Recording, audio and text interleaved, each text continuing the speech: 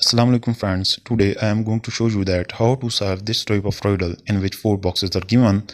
In row the first summation of first two boxes is equal to 8 and the subtraction of second two boxes is equal to 6 and the summation of first two boxes in column is equal to 13 and the summation of second two boxes is equal to 8 four boxes mean there are four unknowns.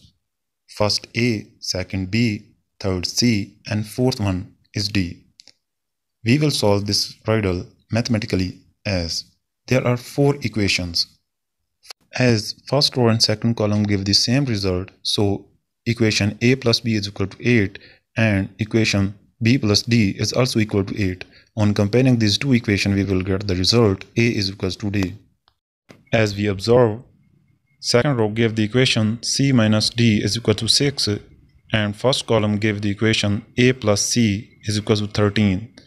Now, value of c from equation 3 using in 4 is equals to the uh, new equation a plus 6 plus d is equal to 13.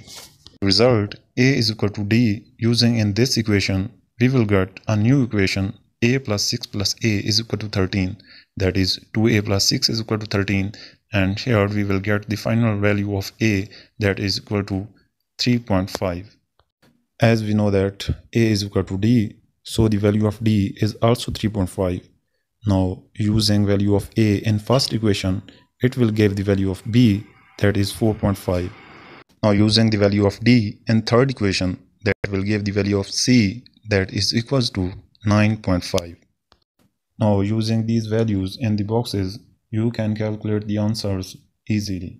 If you like this video share it with your friends and subscribe this channel Thanks for watching. Allah Hafiz.